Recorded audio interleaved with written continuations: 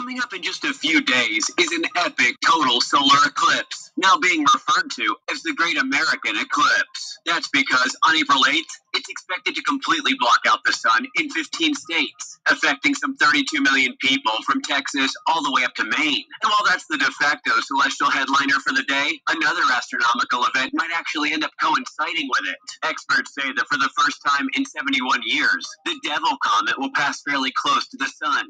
Official name is the Pons Brooks Comet, and it's really, really big, with astronomers estimating it's likely around the size of Mount Everest. And it's aptly named the Devil Comet because of a couple of outbursts of gas around its coma, which make it appear to have horns. So, what does it have to do with the eclipse? Well, it should be passing close enough to the sun, and the eclipse should darken the sky just enough for sky gazers to be barely able to see it with the naked eye. Of course, you will need to take particular precaution not to look directly into the sun at the same time, but in doing so, you might just see what appears to be a small gray smudge in the sky. Close up views of the comet would reveal its iconic green tail, which might be better viewed on its closest pass to Earth on April 17th.